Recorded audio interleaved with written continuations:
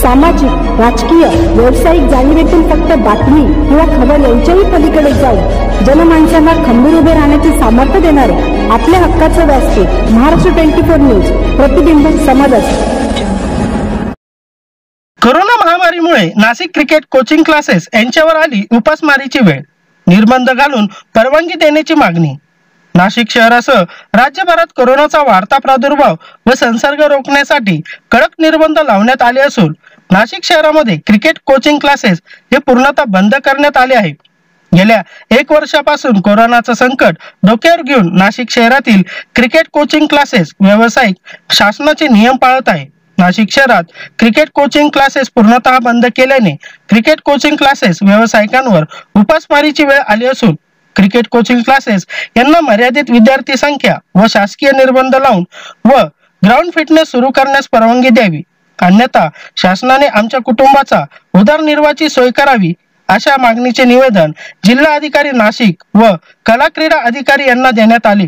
माझं नाव शरद इंगळे. मी जवळजवळ पंधरा वर्षापासून कोचिंग करतोय क्रिकेट कोचिंग करतोय. मुलांचा फिटनेस घेतो पण जेव्हा लॉकडाऊन लागलं पहिलं लॉकडाऊन लागलं बावीस मार्च दोन हजार वीस रोजी. तेव्हापासून माझा जॉब पण गेला आणि माझं काम पण गेलं. मला जॉबवरून पण कमी केलं. जिथं मी त्यांच्या हाताखाली मी जवळजवळ चार वर्ष काम केलं. तर तो पण जॉब माझा गेला. त्याच्यानंतर लॉकडाऊन खुलल्यानंतर मी रेंटवर जागा घेतली. जागा घेतल्यानंतर मी तिथं कसं बसं क्रिकेट कोचिंग चालू केली. त्याच्यानंतर आता पुन्हा लॉकडाऊन लागलं.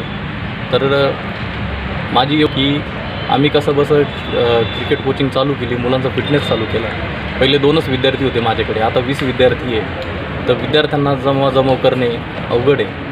आणि आणि मुलांवर मुलांचा विश्वास जिंकणे अवघड आहे. कारण की क्रिकेटचा कॉम्पिटिशन जास्त असल्यामुळे कोचिंग क्लासेस जास्त असल्यामुळे आमच्याकडे शक्यतो विद्यार्थी हे कमी प्रमाणात येत असतात. तरी आम्ही आमच्या परीने जेवढं येईल क्रिकेट माध्यमातून जेवढं चांगलं शिकवता येईल तेवढं आम्ही भरपूर प्रयत्न केला. पण या लॉकडाऊनमुळे आमच्यावर उपासमारीची वेळ आली. आमचा उदरनिर्वाह सर्व बंद झाला. माझ्या मुलीची फी बाकी आहे. त्याच्यानंतर लाइट बिल बाकी आहे. घरात रेशन आणायचं. हा सगळा अ, आता? आमची मागणी अशीच आहे की आमचं क्रिकेट कोचिंग जे क्लासेस आहे जे फिटनेस क्लासेस आहे ते सरकारने चालू करावं आणि आम्हाला गाईडलाईन करून द्यावं. जेणेकरून आम्ही पण वेळेनुसार जे आमचे विद्यार्थी आहेत त्यांना वेळेनुसार बोलवून ते कोचिंग चालू करू.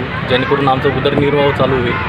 जर आमच्याकडं आमच्या जेवढे कोचेस आहेत जर तेवढ्यांचं जर सरकारने दखल घेतली नाही तर महाराष्ट्रातले जेवढे कोचेस आहेत जे इंडोर घेतात किंवा आउटडोअर घेतात त्यांचा सर्वांचा उदरनिर्वाह हा कोचिंगच्या भरोशावर आहे. आम्ही त्यांना सर्वांना एकत्र करून आंदोलन करू.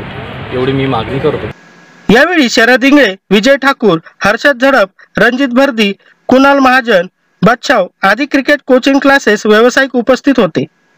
Maharashtra twenty four news Nashik.